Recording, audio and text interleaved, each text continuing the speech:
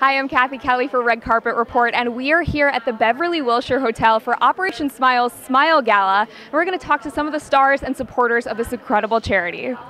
Um, so, I know that you have gotten so many people involved with Operation Smile. Why is it an important charity for you to be involved with? Um, well, Kevin and I sang like three years ago, and that's sort of where we really saw it happen. Jen Salke and Henry, obviously, who uh, sort of like grabbed us and pulled us into this amazing um, charity. And you just, there's nothing you can do to hate it. Like it, it's, you just have to help, and it's so easy and it's so wonderful. So I just think that like, there's nothing to do but.